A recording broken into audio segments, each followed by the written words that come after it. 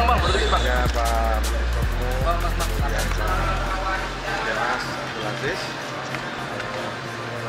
Terakhir sebelum Tuhan, ya tentu karena ini malam Jumat, ayo yang Muslim jangan lupa tahlilan, yasinan, selawatan, doakan semoga saudara-saudara kita yang pernah menjadi korban bencana banjir, longsor, gempa diberikan kesabaran dan keikhlasan. Membuat tulisan apaan itu, Pak? Pak itu ada tulisan apa? tunjukin dong, Pak. Tunjukin dong, Pak. Korban banjir, longsor, gempa, semoga sabar, ikhlas karena Allah. Terima kasih. Berarti Tadi bisa apa aja, Pak? Tadi Pak. Tadi Pak siapa aja yang bersedia? Pak? Tadi Pak apa aja tadi, Pak? Awas hati-hati mas. Tadi Pak